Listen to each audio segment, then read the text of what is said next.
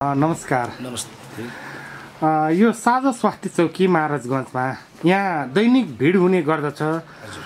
तपाईँहरूले मास्कलाई सुलभ मूल्यमा बेचिरहेको जुन सामाजिक सञ्जालमा आइसकेपछि धेरै ठाउँबाट यहाँ मास्कको लागि मान्छेहरू आइरहेको छ। कस्तो प्रतिक्रिया पाइरहनु भएको छ दर्शकहरूबाट जुन यहाँ मास्क किन्न आउनेहरूबाट? अब अहिलेको समयमा तपाईँको मास्क बजारमा सर्टेज छ। तपाईँको यो जुन प्रहरीबाट बरा- बरा- बरामद भएको मास्कहरू साझा स्वास्थ्य सेवाले बिक्री वितरण यहाँबाट गरिरहेको छ।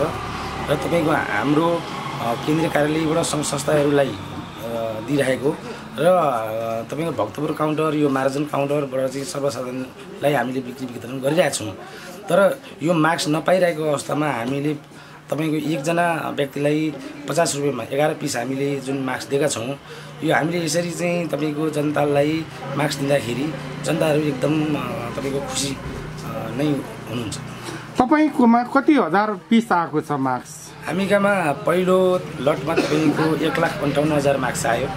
त्यो हामीले दुई दिनमा बिक्री वितरण गऱ्यौँ। लगभग हामीले बिस हजार चाहिँ जन बिस हजारजनालाई हामीले बिक्री वितरण गऱ्यौँ र दोस्रो लटमा चाहिँ हामी कहाँमा एक लाख मार्क्स आयो।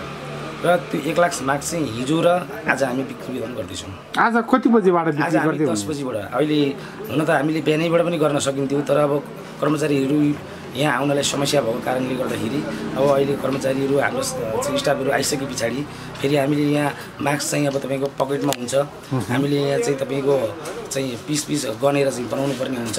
त्यस पछाडि हामीले साथीहरू आएपछि हामी बिक्री वितरण गर्छौँ भनेपछि यहाँ भिडभाड हुँदाखेरि कुनै अप्रिय घटनाहरू घटेको छै छैन? अहिलेसम्म त्यस्तो अप्रिय घटनाहरू घटेको छैन र हामीले भरिसक तपाईँको चाहिँ भिडभाड हुन पनि हामीले दिइरहेका पनि छैनौँ र हामीलाई सुरक्षाकर्मीबाट पनि ठुलो सहयोग भएको छ।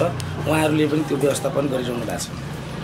नेपाल सरकार र विश्व सङ्गठनले स्वास्थ्य सङ्गठनले पनि तिन फिटको दूरीमा बस्नुहोस् भनिरहेको बेलामा तपाईँको यहाँ हामीले देख्दाखेरि चाहिँ एकदम भिडम भिड गरी चाहिँ त्यो मास्क लिनु बसिरहेको छ। तपाईँहरूले त्यो व्यवस्था किन गर्न सक्नु भएन हामीले त्यो विषयमा बाहिर लाइन जुन लाग्नु भएको छ तपाईँको जनताहरू हामीले सुरक्षाकर्मी कर्मीलाई कम्तीमा पनि एक मिटरसम्म अलिक पर राखिदिनुहोस् भनेर हामीले हिजोदेखि भनिरहेछौँ र उहाँहरूले त्यो गर्नु पनि भएको छ। र अब सुरक्षाकर्मी नभएको बेला चाहिँ तपाईँको जनताहरू अलिकति भिडभाड नै देखिएको पनि हो र हामीले पनि सकभर त्यसरी चाहिँ नगर्नुहोस् भनेर हामीले सम्झाउने बुझाउने चाहिँ गरिरहेका छौँ तपाईँहरू जुन कोरोना भाइरस नेपालमा नछिरोस् र सर्वसाधारणलाई नलागोस् भनेर जुन एवारनेसको काम गरिरहनु भएको छ तर त्यो भिडभाडले त भोलि यहीँ नै त्यो सङ्क्रमण हुनसक्छ नि।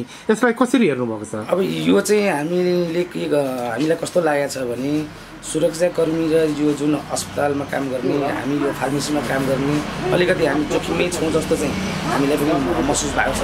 किन भन्दाखेरि यहाँ तपाईँको औषधि किन्ने मास्कहरू अ, जुन खालको भिडभाड हुन्छ जुन तपाईँको जनताहरू आउनुहुन्छ त्यो हुँदाखेरि चाहिँ त्यो हामीले महसुस गरेका छौँ र त्यसमा हामी अलिक सजग पनि भएका छौँ र हामीले जाने सुबन बुझे सुबनको चिजहरू हामीले बताउने पनि गरिरहेका छौँ।